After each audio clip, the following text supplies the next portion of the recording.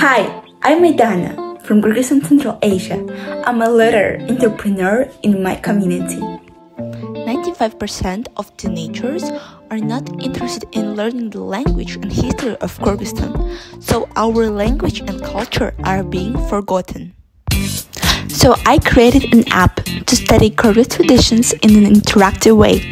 The rules differ greatly between girls and boys in my culture, and my app helps everybody to understand Kyrgyz history from both sides. Being the head mentor of 100 students in the debate club, I have the skills to lead a group of people toward success.